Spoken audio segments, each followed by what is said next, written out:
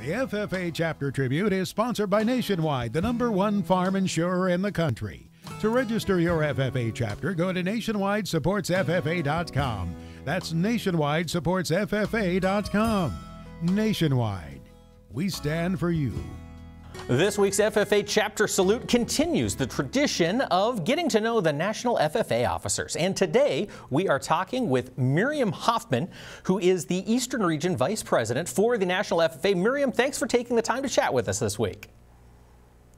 Mike, thank you so much for the invitation. It's always a pleasure. So let's talk a little bit about where you grew up. Where are you from and what did you do?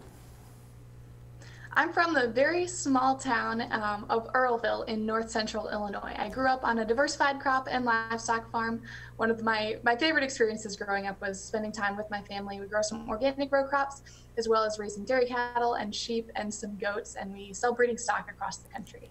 Wow, that is quite an operation. You guys are very well rounded down there in Earlville.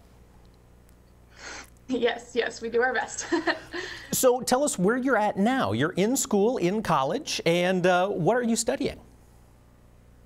Yes, I'm a junior at Southern Illinois University Carbondale, studying agribusiness economics, and I haven't decided for sure on a minor, but I'm looking at environmental studies. All right. So now, this combination of things, your upbringing, your experience with FFA, and your time in college, what all has it given you to uh, conquer things in the future? It's given me so much. I always describe the my time in the FFA. It didn't make me who I am, but it gave me a place to become who I was meant to be.